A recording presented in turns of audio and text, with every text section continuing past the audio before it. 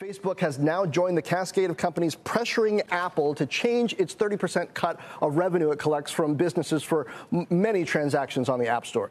Facebook just announced that it is launching paid online events for small businesses to charge users to attend their classes, instructions, and other events like yoga or a cooking class.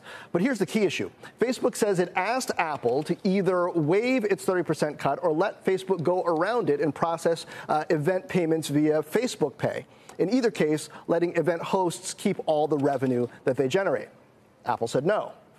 Google did agree to eliminate their commission.